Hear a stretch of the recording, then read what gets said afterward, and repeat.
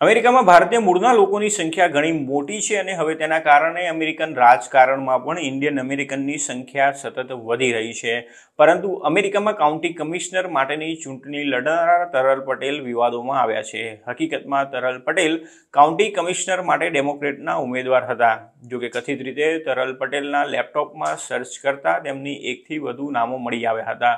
Taral Patel, precinct three county commissioner માટેના ઉમેદવાર હતા, પરંતુ તેમની ધરપકડ કરવામાં આવી છે. તેમના પર ગુનાહિત ઓળખની ચોરી અને એન્ટોનિયો સ્કેલિવેગ નામથી નકલી જાતિવાદી સોશિયલ મીડિયા પોસ્ટ મોકલવાનો આરોપ મૂકવામાં આવ્યો છે. તેમની સામે વધુ વોરંટ ઇસ્યુ કરવામાં આવ્યા છે. Fort Bend County District Attorney Office દ્વારા જારી કરવામાં આવેલા નવા સર્ચ વોરંટમાં આરોપ છે કે તરલ પટેલે રિપબ્લિકન હરીફ કમિશનર એન્ડી મેયર્સને નિશાન બનાવતા અને તેમને નુકસાન થાય તેવા શ્રેણીબદ્ધ ઈમેલ મોકલવા માટે પોલ રોસેનસ્ટેઇન નામનો ઉપયોગ કર્યો હતો. બહુવિધ ઈમેલ સૂચવે છે કે મેયર્સને દાન આપવું નિરર્થક હતું. મેસેજીસમાં બનાવટી પોલ્સનો પણ સમાવેશ થતો હતો, જે ખોટી રીતે દર્શાવે છે કે મેયર્સની જીતવાની કોઈ જ તક નથી, જેમાં પોલિંગ મેમો ફોર્ટ બેન પિસ્ટિંગ થ્રીમાં મુખ્ય ફેરફારો થઈ રહ્યા છે. પટેલનો પ્રચંડ વિજય થયો છે તેવા ખોટા પોલ્સનો પણ સમાવેશ થતો હતો. ફોર્ટ બેન કાઉન્ટીના રિપબ્લિકન પાર્ટીના અધ્યક્ષ બોબી એબ્રલે જણાવ્યું હતું કે, અમે જાણીએ છીએ કે પટેલનું જુઠ્ઠાણું કામ કરે છે. પટેલ જેવા રાજકારણીને કોઈપે પણ મત આપવો જોઈએ નહીં. જે જનતાને છેતરવા, ચૂંટણીમાં હસ્તક્ષેપ કરવા અને તેમના વિરોધીઓની પ્રતિષ્ઠા ખતમ કરવા માટે આટલી હદ સુધી જવા તૈયાર હોય છે.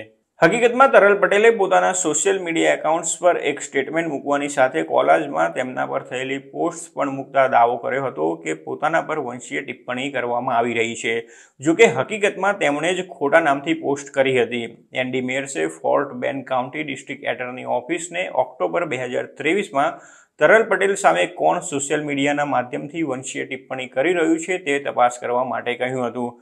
જે એકાઉન્ટ્સ પર આ પોસ્ટ મૂકવામાં આવી હતી તે પ્રાઇવેટ હતા. મતલબ કે તેની માહિતી જોઈ શકાય તેમ ન હતી. છતાંય તરલ પટેલ તેનો સ્ક્રીનશોટ ક્યાંથી લઈ આવ્યા તે સવાલ ત્યારે ઊભો થયો હતો.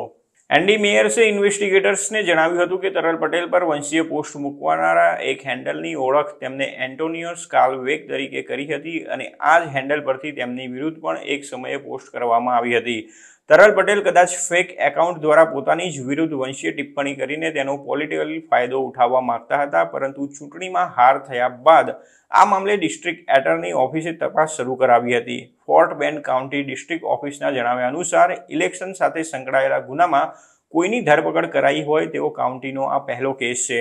તરલ પટેલ આ અગાઉ ફોર્ટ બેન કાઉન્ટીના જજ કેપી જ્યોર્જના ચીફ ઓફ સ્ટાફ તરીકે બે હજાર અઢારથી બે હજાર એકવીસ સુધી ફરજ બજાવી ચૂક્યા છે.